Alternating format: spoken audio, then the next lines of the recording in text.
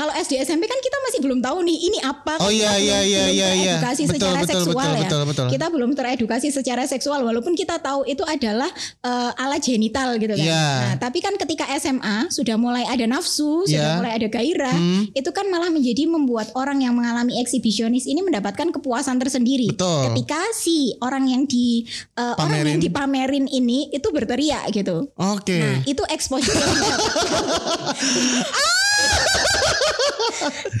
wow. Kilo.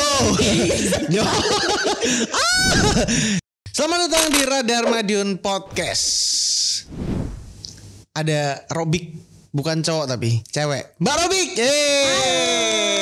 Selamat siang Mas Tori. Selamat siang Kak Robik. Kakak ya. nih. Kakak ya, karena eh, jadi beliau ini adalah dosen ya, Bu dosen sebenarnya. Tapi kalau manggil Bu kayaknya ah, terlalu mature gitu ya, kayaknya eh, Mbak Robi aja ya atau Kak Robi aja ya, Boleh. biar lebih muda gitu ya. Boleh. Selamat siang, selamat ketemu lagi. Sebenarnya beliau ini pernah di podcast ya dulu, bahkan di episode pertama Radar Madun Podcast tuh katanya sama Mbak Robik ini. Akhirnya terus diundang lagi ke sini. Akhirnya diundang lagi waktu itu Iya. sama Kak Imas dulu ya, eh waktu zaman zamannya pengadaan. Sekarang alatnya udah wah, Iya, udah. saya kaget loh di sini. Wih, sekarang sudah lengkap. Iya, udah Awal-awalnya lengkap. dulu ala kadarnya ini sekarang sudah mantep banget. Sudah Iya, ada iya, iya, iya, dan iya. kawan-kawannya lengkap banget. Nah, Ya. kenapa kita ngundang Bu dosen yang satu ini ya, Mbak Robi ini karena dia adalah dosen psikolog ya. Betul. Psikologi ya. Aku bagaikan huruf P di kata psikologi. Gak dianggap. ya kan? Karena nggak terbaca. Iya, psikologi. Padahal kan psikologi. Psikologi. Aku bagaikan huruf P di kata psikologi nggak dianggap. Tapi semoga eh, pembahasan ini akan dianggap karena pembahasan ini kayaknya akan menarik karena kita akan membahas tentang karena kita berhadapan dengan seorang psikolog ya, dosen juga. Eh, kita akan membahas tentang eh, beberapa hal yang akhir-akhir ini sebenarnya ini sempat dibahas juga dulu sama salah satu dosen juga waktu itu psikolog juga ya kalau nggak salah ya cowok saya eh, agak Ah, lupa saya sorry ingat kayaknya. Andi Iya. Cahyadi bukan? kayaknya itu mas mas siapa Andi Cahyadi. Iya, kayaknya Mas Andi ya. Dan Iya. salam juga loh Mas Tori. Oh, iya. Andi. heeh. Thank you Mas Andi kemarin sempat kita undang juga eh, di Radar Madin Podcast dan kurang lebih pembahasannya hampir sama karena ternyata beberapa waktu terakhir ini beberapa ya minggu terakhir ini lagi beberapa berita lagi viral tentang eh, apa ya ngomongnya? Kalau dibilang pelecehan seksual iya nggak sih? Jadi satu kemarin ada kasus em, apa namanya seorang pasti kalian tahu ya seorang cewek berhijab yang eh, bikin konten TikTok tapi belahan pa- payudaranya kelihatan. Pakai pakai pakai apa namanya pakaian dalam gitu ya. Terus yang kedua ada salah satu perawat yang bikin konten TikTok juga. Itu dia masangin kateter urin Oke. di eh, pasien cowok ya dan waktu itu dia bikin kontennya tuh kayak apa ya salting maksudnya dia masangin itu Bergairah ya. Iya nggak tahu ya bergairah atau lagi eh, apa ya itulah ya lagi nafsu atau apa saya nggak tahu dan waktu itu dihujat sama banyak netizen juga di TikTok. Terus yang terakhir, nah ini yang paling kebangetan sih ya. Ada cowok di kereta KRL di Jakarta masturbasi di dalam kereta Oh, oke. sampai kena kursinya ya sampai eh, bercacaran di kursi. ya melihat fenomena itu eh, Mbak Robi, seperti apa sih orang-orang sekarang tuh maksudnya kalau eh, ngonten, kalau berperilaku itu kok semakin barbar gitu. Iya, sebenarnya gini sih Mas Tori ya, apa ya?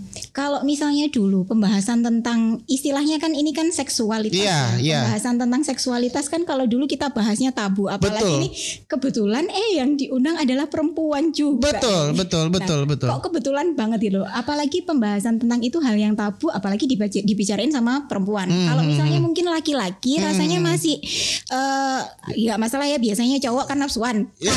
Katanya Iya, loh ya, iya, katanya loh ya, Katanya. katanya. Tapi katanya. mungkin Tapi iya, belum tentu mungkin iya. juga loh. Iya, iya, iya, tentu iya, juga iya. loh. Ada loh cewek yang juga memiliki tingkat gairah yang cukup tinggi juga Betul, gitu. betul, betul. Semacam itu. Nah, Hmm. kalau misalnya kita lihat dari eh, beberapa kasus, kita Hmm. lihat dari kacamata psikologi ada beberapa kacamata yang harus kita pakai nih gitu. Kata kenapa Hmm. kok beberapa gitu? Karena masing-masing kasus ini kalau misalnya ini adalah just konten, Ya. nggak banget gitu loh. Iya. Konten kalau misalnya kita bikin konten ya paling nggak kita bikin exposure-nya positif gitu ya. Betul. Harapannya begitu sama kayak Radar Madiun ini. Kita Iya. bikin konten yang exposure-nya positif walaupun kita lagi bahas hal-hal yang tabu. Iya, Hari iya, ini kita iya, ini kan iya. lagi bahas hal-hal yang tabu Heeh. gitu. Nah, tapi kalau kita lihat dari eh, konten-konten mungkin yang pertama nih eh, cewek yang pakai hijab eh, terus habis itu memamerkan eh, buah dadanya Hmm. semacam itu kalau kita lihat dari kacamata psikologi ya ini adalah suatu hal yang oh cukup menarik ada Hmm, apa hmm, dari hmm. sisi kepribadiannya semacam Iya, iya, itu, iya, betul, gitu. betul, betul. nah kalau misalnya eh, memang dia hanya sekedar konten ini yang harus kita tanyain Hmm, hmm. apa yang melatar belakangnya dia bikin konten begituan apakah memang Pengen FYP, FYP doang Uh-uh, misalnya. kepingin FYP doang, kepingin muncul di FYP-nya Mas Tori kan ini muncul gara-gara di FYP-nya Mas Tori. Dan itu muncul, dan itu muncul, dan ternyata awalnya saya tuh taunya dari dari dari ini malahan dari Mas Tegar. Oke. Jadi eh iya saya waktu itu eh, kalau nggak salah tuh pagi-pagi kan. Oke, eh, baru duduk, baru Oke. duduk di meja kerja kan. oke. Bang, gue ngerti Kika. Oh boy. Uh, oh boy. Langsung saya buka TikTok dong penasaran. Oke, oke. Ternyata viralnya tuh duluan di Twitter, dibahas I di situ kan, terus Uh-uh. FYP juga akhirnya saya cek, wah saya follow. Oh, oh, tanpa sengaja itu sudah refleks loh ya. sudah refleks ya sama follow saya ini ini saya ngomong apa adanya aja gitu. Saya Hmm. follow. Tapi setelah kasusnya ternyata viral dan ditindaklanjuti sama pihak terkait, di banned kan akunnya gitu. Hmm, oke. Nah, j- berarti, berarti kan mungkin ada kecenderungan apakah si si cewek ini pengen FYP doang dengan cara seperti itu atau gimana Mbak? Bisa Ruby? jadi, bisa jadi. Kalau kita lihat dari advertising ya, hal-hal yang semacam itu kan menjual nih. Ini Ya. belum ke psikologinya nih. Mm. Hal-hal yang semacam itu kan menjadi konsumsi yang oh, saya rasa ini menjual banget Ya. orang yang dengan Mancing. paha Ya, dan ya, ya, dada, ya. Ah, dengan ah, paha dan dada itu nggak cuma salah satu eh, restoran restoran cepat saji aja yang Betul, menyajikan, betul, tapi betul, di betul. TikTok banyak banget. Banyak gitu banget, kan. banyak Nah, banget. Itu itu ngejar konten gitu, Ya, ngejar ya. konten dan ngejar FYP supaya viral gitu Hmm. kan. Nah, hal yang semacam itu. Tetapi kalau misalnya kita- kita lihat dari dalam pribadinya apa yang membuat dia sampai seberani itu? Ya. Apalagi dia uh, berhijab. Uh, Ya. yang saya disclaimer dulu nih, Hmm. jangan dihindari oh, mendiskreditkan hijabnya loh ya. Ya. Uh, karena belum tentu juga orang-orang yang biasa aja juga bisa jadi berperilaku demikian gitu. Betul, betul, Jadi betul. gitu gitu. Jadi eh, nggak perlu kita nggak perlu mendis- mendiskreditkan oh ternyata oh dia berhijab kok ternyata semacam itu terus Hmm. akhirnya kita memukul rata bahwa semua cewek berhijab semacam itu juga Ya, Nggak gitu juga ya, nggak gitu gitu. juga. Tapi Ah. secara pribadi kita perlu melihat secara pribadi eh, si pelaku bukan pelaku sih ya si pembuat konten ini gitu si Hmm, pembuat konten ini. Eh, sebagai seorang wanita yang memang harusnya wanita itu kan dijaga katanya. Ya. wanita dijaga wanita perlu dilindungi wanita adalah eh, seorang yang lemah lembut semacam Hmm, itu. hmm, kenapa kok malu itu adalah salah satu perhiasan wanita? Kalau salah satu hadis mengatakan semacam itu Hmm, gitu ah, kan. subhanallah.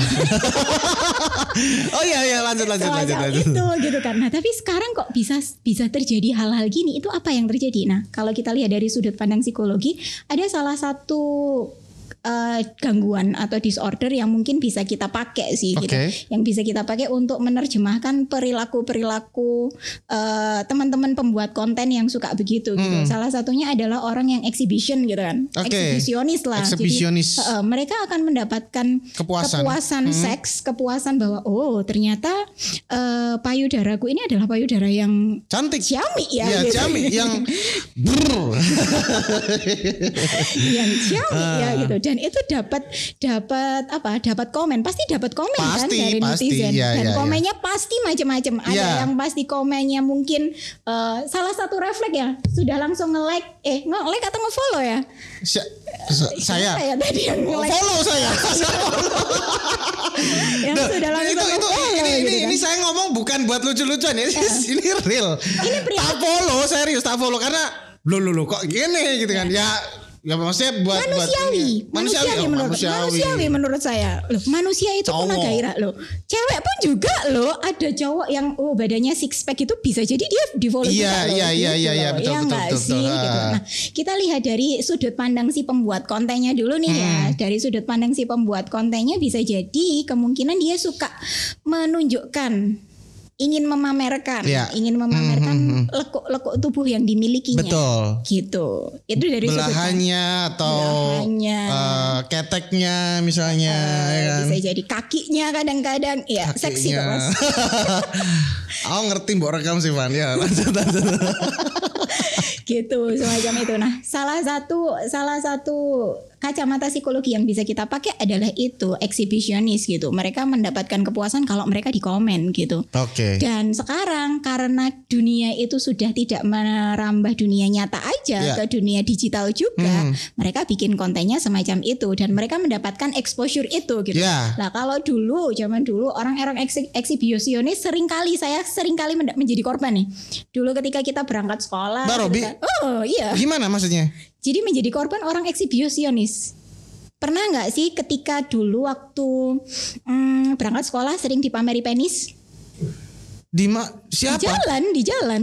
Se- Nggak pernah dapat ya? Oh karena laki-laki. ya iyalah. yang ngapain kak? Laki-laki. Yang ngapain pamer penis ke saya? Karena ya saya ngap- laki-laki. ya, saya ngeliatnya juga apa gitu. Eh, masnya boy.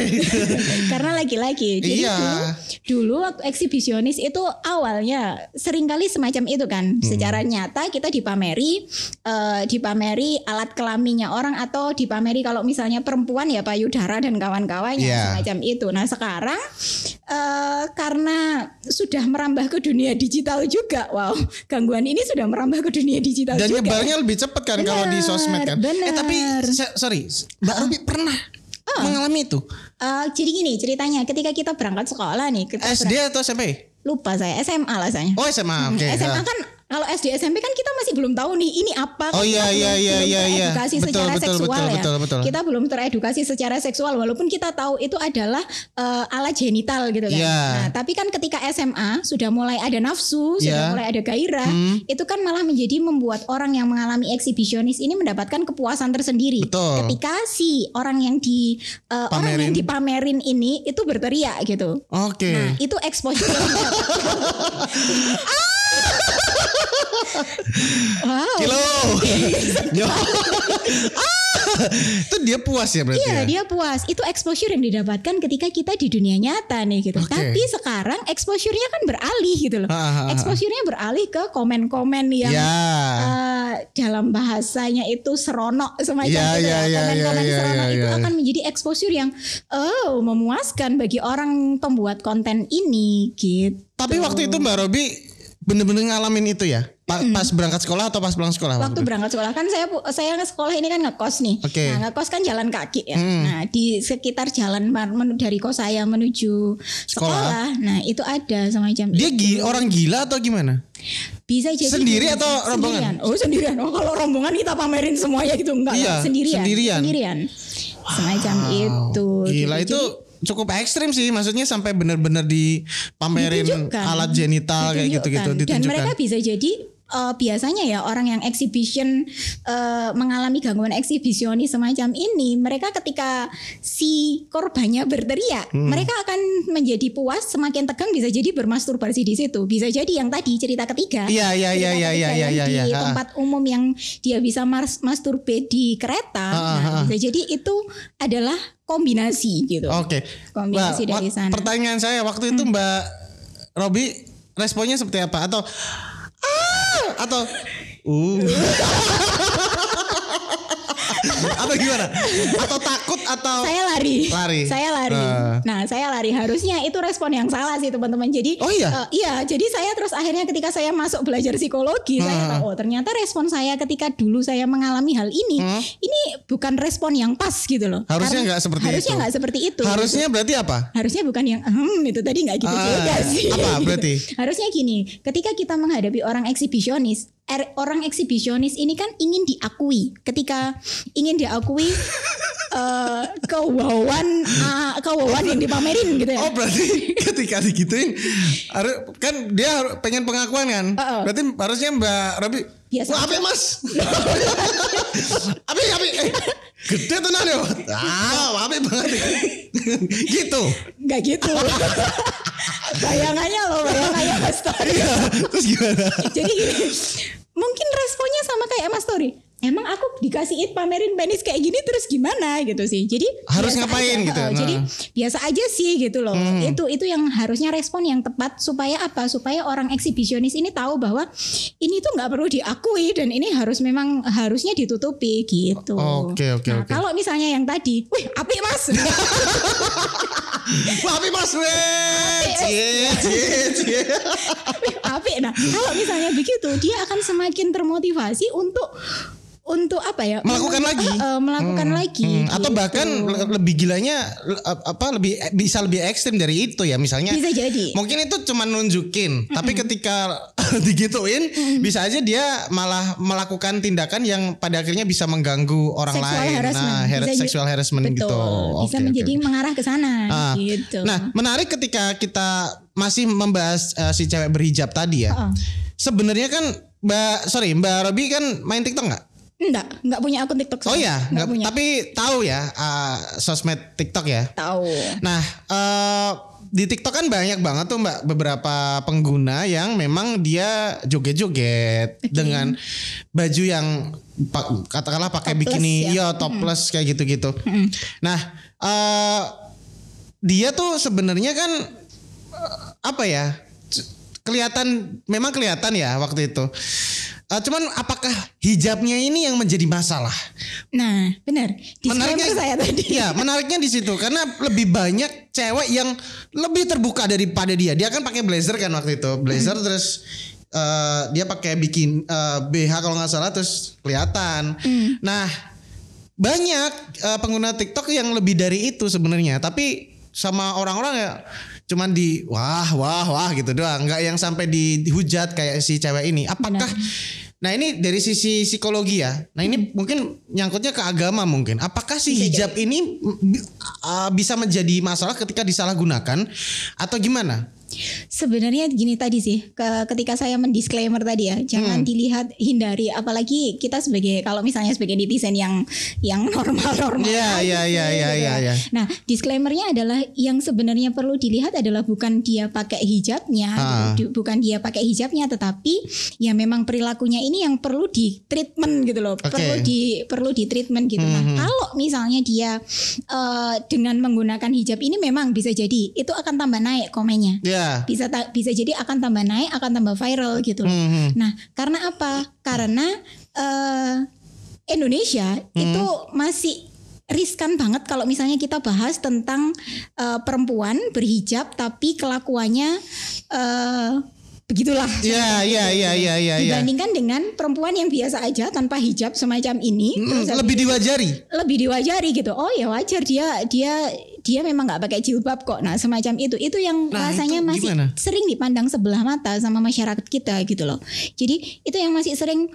Oh berarti orang yang berhijab itu idealnya harus semacam ini loh Iya, ya. iya, Ada- iya, iya, ada iya, iya. standar Ada yang standar, mengharuskan. ada standar. Padahal kan ya kata cewek-cewek yang berhijab tuh hijab itu kewajiban, tapi ahlak urusanku juga gitu. Nah. Maksudnya eh, orang yang nggak pakai hijab, yang berperilaku jahanam ya itu lebih diwajari. Oh yo wes wong wong iya emang koyo ngono. Tapi ketika berhijab berperilaku jahanam lebih dipermasalahkan. Hujatannya tambah hujatannya tambah, iya, kamu tuh berhijab loh sis ya kan? Misalnya Iya, kayak gitu. betul sekali. Loh, lah, apa masalahnya sama hijab? Apakah memang hijab ini menjadi eh, apa ya salah satu faktor utama kamu akan bisa mendapatkan lebih banyak hujatan ketika berperilaku yang eh, nyeleneh daripada ke- ketika kamu tidak berhijab kalau di Indonesia ya mungkin Betul, betul. Karena kita masih sangat riskan banget ketika membahas sisi religiusitas ya. Hmm. Ada standar tersendiri, ada standar tersendiri ketika kita membahas sisi religiusitas salah satu agama yang mayoritas di anut sama orang Indonesia. Hmm. Hijab itu kan salah satu agama yang memang yang mengharuskan berhijab. Sebenarnya Katolik pun juga ada hijabnya. Ya, ya Uh, para suster, suster, ya, gitu. para suster itu ya. kan para biarawati kan juga ada hijabnya. Iya, gitu. iya, tapi kan iya. uh, itu belum belum teredukasi secara bagus. Tapi uh, mayoritas orang Indonesia itu kan tahu bahwa oh oke orang Islam ya kewajibannya perempuan ketika mereka sudah dewasa Iya. itu mereka harus menutup auratnya gitu. Ha, ha, Nah, ha. kalau misalnya aurat rambut terus akhirnya mereka berpikirnya begini, kalau misalnya aurat rambut aja itu ditutupi tapi bagian bawahnya enggak, Iya. itu yang menjadi eh, apa namanya? Itu yang menjadi hujatan. gitu. Hujatan. Jadi ya memang itu adalah sisi-sisi sensitif Hmm, dari masyarakat yang eh, bisa jadi gini sih, si pembuat konten bisa jadi loh ya, si pembuat konten bisa jadi ketika dia membuat konten itu mereka pakai dia pakai hijab, tapi ketika dia biasa aja ya dia nggak pakai hijab bisa jadi juga Oh bisa jadi. untuk jadi menimbulkan untuk menaikkan exposure-nya Nah. supaya reach-nya nam- supaya Betul, apa ya viewersnya nambah gitu. Berarti dia tahu ya bagaimana harus FYP kan. Maksudnya Bisa- bisa ah, jadi, dia, bisa dia, jadi. dia dia cukup paham bagaimana caranya harus FYP, dia pakai hijab tapi dibuka eh, dadanya kayak gitu-gitu. Dan akhirnya ya benar FYP tapi ya harus minta maaf. Iya betul Iya, sih iya, iya, iya. gitu. Akhirnya di banned ya. akhirnya di banned, akunnya hilang. Oh. Ya udah, aku ngelihatnya cuman sebentar aja. Ah. Terima kasih Mas Tegar Rukmana yang udah ngasih tahu saya akunnya. Luar biasa. Saya belajar banyak hal-hal yang dewasa tuh dari Mas Tegar. Oh, Oke. Hmm, yang ngajarin. Oke lanjut. Ah, Oke itu baru kasus yang pertama aja. Terus lanjut lagi ada satu perawat yang dia berhijab juga. Tapi kita nggak akan bahas hijabnya ya. Oh. Tapi apa yang ditulis di ah, konten TikToknya dia, bahwasanya dia pasang kat- kateter uh, urin. eh, kalau nggak salah tuh dia, saya nggak tahu soundnya, saya lupa soundnya apa. Pokoknya dia tuh kayak Mungkin gemes kali ya masangin kateter urin ke cowok yang Ganteng. dia bilang ganteng. Oke. Nah, eh itu gimana? Maksudnya dia sebagai perawat ya. Terus masangin kateter kan mungkin salah satu ya job desk-nya dia lah ya.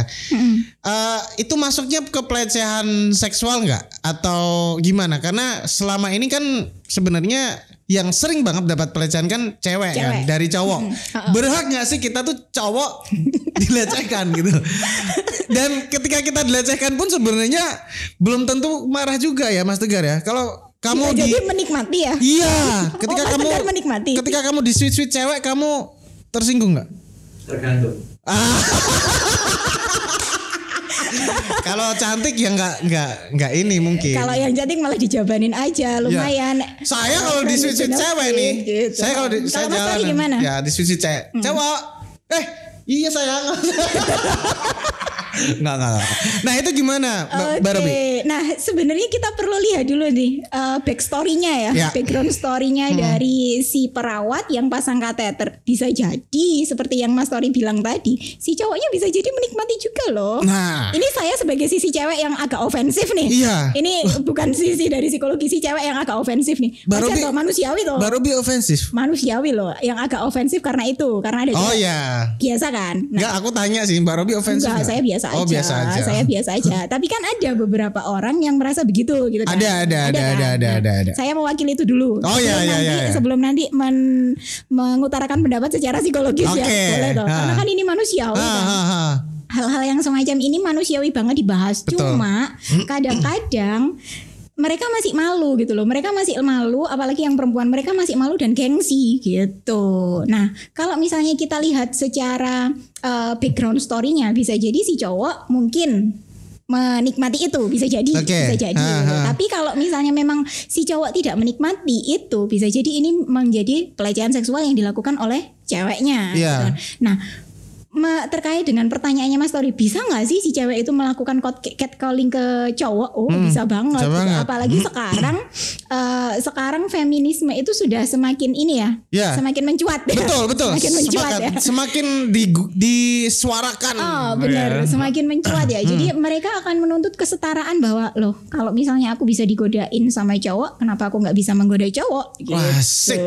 Gitu ya berarti ya. itu. Ada juga. Menuntut kesetaraan gender memang Ah, ya. Jadi kadang-kadang yang setara yang kita lihat setara itu yang seperti apa itu kita perlu lihat dari kacamata kita sendiri-sendiri sih. Iya iya gitu. iya iya. Jadi ada berbagai perspektif yang perlu kita lihat kalau misalnya kita memandang kesetaraan. Ada yang memandang kesetaraan bahwa eh, ya mau bagaimanapun yang menjadi eh, imam atau yang menjadi pemimpin adalah laki-laki Hmm, semacam hmm, itu. Jadi ketika si dan tidak tidak etis, tidak etis dan tidak pada tempatnya ketika seorang cewek melakukan penggodaan atau ngeflirt pada si cowok biasanya Hmm, gitu. hmm. Tapi sekarang eh, ada juga perspektif yang mengatakan bahwa eh, kebanyakan ya nggak masalah kalau si cowok itu bisa ngeflirt ceweknya kenapa kok cewek nggak boleh ngeflirt cowoknya Hmm. gitu itu juga ada juga gitu Oke. dan bagi saya secara secara psikologis kalau misalnya kita memang melihat usianya itu kan adalah usia-usia dewasa Hmm. awal dewasa menengah ya usia 20 30-an sepertinya atau dua ya 20-an Hmm, hmm. 20-an 30-an sudut pandang perkembangan psikologi perkembangan mengatakan bahwa salah satu tugas perkembangan itu adalah eh, menjalin relasi dengan lawan jenis. Nah, Oke. menjalin relasi dengan lawan jenis biasanya pada saat usia 20-30 tahunan kita akan hmm, apa namanya? Kita akan memiliki ketertarikan yang major, ketertarikan yang bisa nggak sih ini aku sama dia next level eh, ke jenjang yang lebih eh, lebih intim lagi semacam itu gitu. Iya, itu itu wajarnya manusia, manusiawi banget. Jadi lifespan-nya orang usia 20 30 mereka akan memiliki ketertarikan. Hmm. Misalnya dilihat, ya kalau misalnya cantik ya aku jabanin, kalau misalnya enggak ya don't care aja. Seperti iya, Mas- iya, iya. Si Teguh tadi semacam itu. Mas Tegar. Oh iya Tegar, sorry. Go teguh. Ya, sorry, sorry. Ah. Gitu, semacam itu. Jadi Nah itu mungkin jadi faktor juga ya. Maksudnya benar. ketika waduh yang godain cantik lagi. Ya langsung iyo. ya itu itu Gitu. berarti eh, memang eh, mungkin mungkin aja ya si cewek si cewek sekarang tuh apalagi sekarang zamannya emang semakin berubah ya. Cewek-cewek tuh semakin berani gitu ya untuk menunjukkan semakin menunjukkan eksistensinya. Iya iya iya iya iya iya iya. iya. Ah, Mungkin mereka pikir eh, mereka mikirnya gini, "Ka- kalian pikir eh, yang bisa godain kalian aja para cowok. Kita juga bisa nih kayak gitu-gitu mungkin ya. Bisa jadi ya, menunjuk- juga. menunjukkan supremasinya mungkin ya Oh-oh. sebagai wanita gitu. Nah, berarti eh, kalau ngomongin pelecehannya berhak juga nggak kalau si cowok ini merasa di- dilecehkan? Bisa jadi juga. Bisa jadi juga si cowok mengalami pelecehan itu kalau memang merasa dia karena gini, ketika kita melakukan ada beberapa gangguan seksual ya, gangguan seksual seperti yang tadi eksibisionis semacam itu. Itu ada yang koersif, maksudnya itu eh, dilakukan dengan pemaksaan sama non koersif. Ya. Nah, kalau misalnya koersif ya dia dengan rela hati gitu. Sama, mereka sama-sama memiliki mereka sama-sama menikmati ini. gitu. Iya iya iya. Tapi kalau misalnya eh, kalau koersif itu kan memaksa. Hmm. Kalau si cowok ini tidak tidak dengan rela hati, tidak menikmati, ya itu ini ada akan menjadi eh, yang namanya seksual harassment itu tadi. Oke, gitu. misalnya gini, Ah. eh, tak tanyain lagi ya, Mas Teguh. eh tegar. Tegar. Nggak misalnya kamu dilecehin sama cewek yang kamu nggak suka, kamu nggak suka banget nih dilecehin. Apakah kamu akan melaporkan ke polisi? Enggak. Nah, Kalau si cewek kalau si cewek pasti. pasti, eh gue laporin lu ya. Misalnya peg- pegang-pegang payudara misalnya, misalnya, yut gitu. kan jelas itu pelecehan. Iya, dan Pak- menyentuh menyentuh itu adalah dengan pelecehan. beraninya dan dengan sembarangan kayak gitu ya tanpa izin coba. tanpa izin saya yakin pasti si cewek akan melaporkan ke pihak polisi karena jelas itu dia merasa dilecehkan dia merasa diganggu apalagi sampai secara fisik kayak gitu-gitu tapi si cowok ini enggak enggak aku tahu sih. Aku jadi aku aku kalau aku aku misalnya merasakan itu misalnya aku digodain atau bahkan disentuh-sentuh gitu sama cewek yang aku nggak suka. Saya Kalau suka ya suka-suka aja gitu ya. Iya tapi maksudnya gini Kalau misalnya aku nggak suka sama dia. Disentuh-sentuh. Saya aku terganggu Bener-bener terganggu nih. Hehehe Hehehe Nyaboy. Heeh. Tapi untuk melaporkan dia ke polisi Kayaknya enggak deh. Iya, memang. Nah itu perbedaannya Apa yang mendasari Bagaimana si, si cewek ini lebih cenderung untuk melaporkan ke pihak berwajib Sementara si cowok enggak si cowok enggak ya. Yang dari sisi kacamata psikologi Oke, ya dari kacamata psikologi kita bisa lihat gini sih, si eh, perbe- eh, karakteristik mendasar antara cewek sama cowok. pasti beda kan? Ya. Karakteristik mendasarnya pasti beda. Nah, kita lihat kalau misalnya si cewek, kasusnya si cewek digodain sama cowok, nah Hmm. pasti mereka akan eh, kebanyakan kalau sekarang istilahnya playing victim nih, bertindak Ya. sebagai korban. Walaupun kadang-kadang ya. dia si cewek juga menikmati juga bisa jadi loh. Ya, bisa betul, jadi juga betul, loh betul, gitu betul, kan. betul. Maka itu sekarang ket- ketika ada kasus pelecehan seksual pasti yang menjadi pihak yang bersalah adalah si Cowok. cowoknya gitu karena mereka kebanyakan ini eh, ada beberapa yang ini bukan terus saya akhirnya mendiskreditkan cewek ya padahal Ya, saya ya. sendiri juga cewek gitu Ah, ah. eh, tapi kita tidak menutup kemungkinan bahwa mereka ini apa namanya eh, bertindak sebagai korban jadi playing victim itu tadi Hmm, karena apa karena ke- kebanyakan mereka akan satu mereka akan merasa gengsi kan Hmm. gengsi mengakui bahwa aku juga menikmati ini gitu gengsi Oh. bisa oke. jadi bisa jadi Oke, loh bisa oke, jadi Oke, oke. atau memang yang kedua bisa jadi juga suka playing victim juga playing victim bertindak sebagai korban gitu nah tapi- Drama. Oh, oh, drama queen Ah, drama queen. Ah, padahal gitu. mungkin dia nggak terlalu dilecehkan banget. Maksudnya apa sih cuman bercanda. Tapi bisa aja dia merasa ini aku menjadi korban nih Hmm, pelecehan. bisa jadi juga. Tapi yang sebenarnya yang memang eh, terus kemudian yang kedua yang cowok. Nah kasusnya cowok kalau misalnya dia merasa dilecehin karena di dia digrepe-grepe sama eh, Cewek yang- cewek yang dia nggak sukai gitu kan, dia akan eh, tetap stay cool, tetap nggak ngapa-ngapain karena apa? Logikanya dia main gitu loh, gitu. Jadi Apakah itu berarti wanita tidak ada logika? Enggak juga. Hmm. Wanita tetap ada logikanya, tapi biasanya yang lebih didominasi adalah sisi Perasaan. afeksinya, betul perasaannya gitu. Nah, tapi sebenarnya gini, eh, kalau mung- misalnya oh, begini, oh, oh, mungkin gini, Mbak Robi. saya ini banget ya, ofensif banget ke oh, cewek ya. Nggak apa-apa. Oh berarti mungkin gini. Oh. Ketika misalnya aku dilecehin kayak tadi ya sama cewek yang aku nggak suka, Hmm. mungkin aku nggak suka digituin gitu. Tapi untuk melaporkan ke polisi ah kayaknya enggak deh. Karena mungkin logikaku iki nek aku ngelaporin ning polisi jelas urusane. Hmm. Betul. Jelas ngentekne waktu, ngentekne tenaga, ngentekne duit bahkan Betul, ribet bla bla bla. Jadi pada akhirnya aku merasa ah ya wis lah. Betul sekali. Tapi kalau cewek kan wah tak laporin polisi kamu gitu kan. Nah, tapi ini saya mungkin ada closing statement, bukan Hmm. closing statement sih, eh, menggarisbawahi perlu kita garis bawahi bahwa kalau misalnya memang terjadi pelecehan seksual, ya memang harus tetap dilaporkan, entah itu yang dilakukan oleh pria kepada wanita atau wanita kepada pria semacam itu. Oke oke gitu. oke oke. Berarti pelaporan itu Iya. kayaknya cukup perlu lah ya. Maksudnya Emang. maksudnya apa pun yang kalian alami ketika kalian merasa dilecehkan atau direndahkan martabatnya sebagai wanita ataupun pria, ya sepertinya memang harus ada pelaporan supaya juga ada tindak lanjut. Apakah nanti berujung ke pengadilan, meja hukum, eh, penjara ataupun damai dengan kekeluargaan bla bla bla itu ya mungkin bisa di eh, bisa diurus belakangan. Tapi paling nggak pelaporan dulu. Mungkin mungkin kurang lebih seperti Ha-ha, itu ya betul. supaya tahu gitu case-case yang terjadi iya, di benar masyarakat. sekali. Karena kita ya paling tidak kan gini sih, kebebasan kita itu kan di, dibatasi sama kebebasan orang lain. Nah, kita bisa bebas melakukan apa pun yang kita suka, tapi orang lain kan juga punya kebebasan sendiri lah. Kalau misalnya kita ngeflirt ngeflirt orang, terus habis itu orang merasa terganggu, otomatis paling kalau misalnya dia tidak mengalami eh, tidak termasuk ke pelecehan, pasti melakukan tindakan yang tidak menyenangkan semacam Iya, iya, itu. iya, Dan iya. itu pun eh, sebagai manusia lah sebagai manusia ya kita harus saling apa ya saling jaga sikap saling jaga diri supaya ya memang tidak terjadi friksi-friksi itu tadi gitu Hmm, Oke oke ya. Eh, agak berat ya ini tapi tapi aku cukup nangkep maksudnya emang ketika ka- kalian merasa kalian bebas melakukan apa pun ke orang lain, orang lain juga bebas melakukan apa pun ke kalian ya. Maksudnya ketika kalian dengan bebas atau dengan sembarangannya megang-megang orang lain, megang-megang lawan jenis, ya yang kalian eh, lecehkan itu juga berhak melakukan apa pun gitu. Mau nampar kalian, mau eh, ngelaporin kalian ke polisi ya terserah karena setiap tindakan pasti ada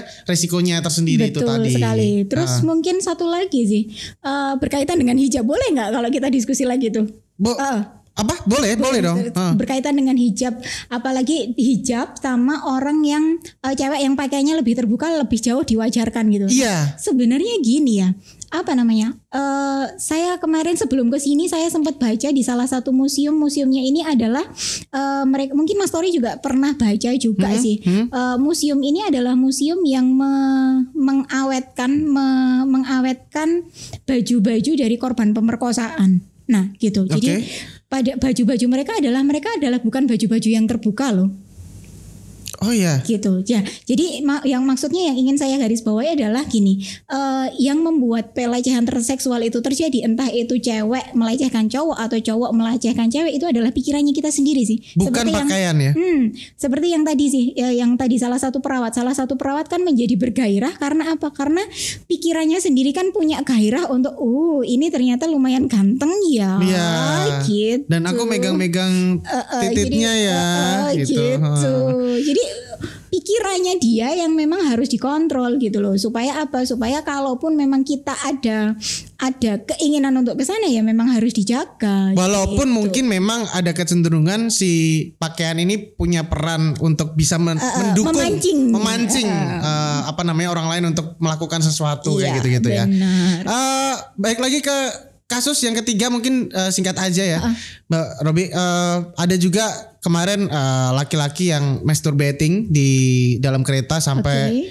muncrat ke mana-mana katanya sampai di bangku lek. Itu berarti masuknya apa? Ex- eksibisionis juga? Bisa jadi itu, bisa jadi dia ada salah satu saya lupa namanya. Jadi eh, ada orang yang melakukan, ada orang yang mendapatkan kepuasan seksual dengan melakukan aktivitas seks di tempat umum gitu Iya. semacam itu. Nah, Hah. eh, dia bisa masuk ke sana juga sih gitu. Dia merasa puas ya ketika melakukan itu dia di merasa puas kalau misalnya ada sosial seksual ya Iya. Eh, eh, di lingkungan so- sosial. dia semacam dia itu. merasa puas ketika dilihat orang, Hmm. ketika dia ditonton orang bahkan ada respon dari orang untuk wah gitu Iya. kayaknya dia ya udah eh, hasratnya sudah ter tersampaikan gitu kurang Betul lebih ya. sekali. Ah, Hasratnya sudah tersampaikan, tersalurkan. ter- tersalurkan ya. Tapi itu wah gila sih itu yang di kereta itu. Tapi kembali lagi ya, kembali lagi kita sebagai orang Indonesia ya yang kemung- yang sangat erat sekali memegang adat ketimuran, hal-hal yang semacam itu eh, ya perlu ditaruh di pembicaraan atau perlu di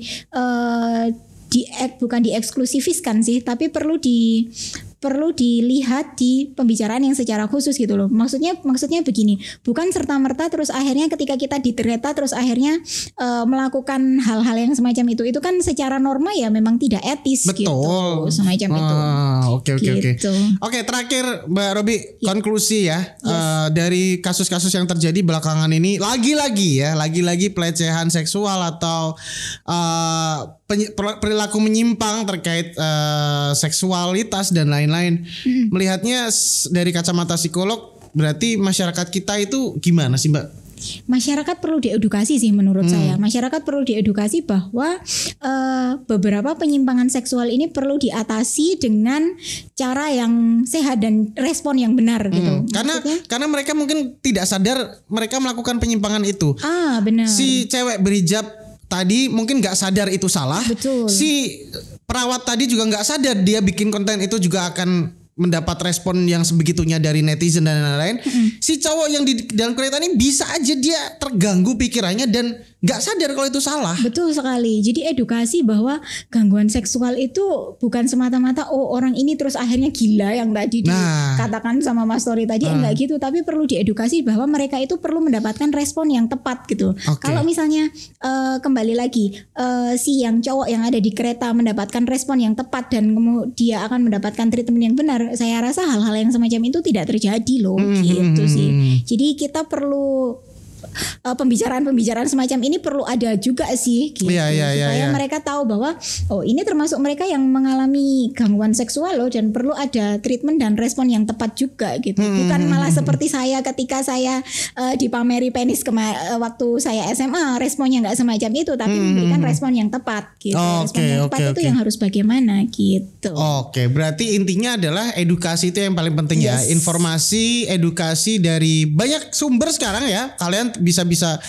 aja baca di uh, berbagai macam media. Terus sekarang juga mungkin ketika habis nonton podcast ini juga bisa lebih teredukasi lagi terkait uh, apa namanya sexual harassment seperti apa, pelecehan itu seperti apa dan bagaimana kita merespon beberapa orang yang mungkin ada ada uh, kecenderungan untuk melecehkan kita. Apa yang harus kita lakukan kayak gitu ya? Seperti yang tadi dibilang sama Mbak Robi, oh mungkin ah, memang ada beberapa hal yang harus kita tahu uh, cara-cara untuk bisa mengatasi ataupun menanggulangi kemungkinan-kemungkinan yang nggak enak itu yang tadi sempat Mbak Robi juga alami waktu SMA gitu ya.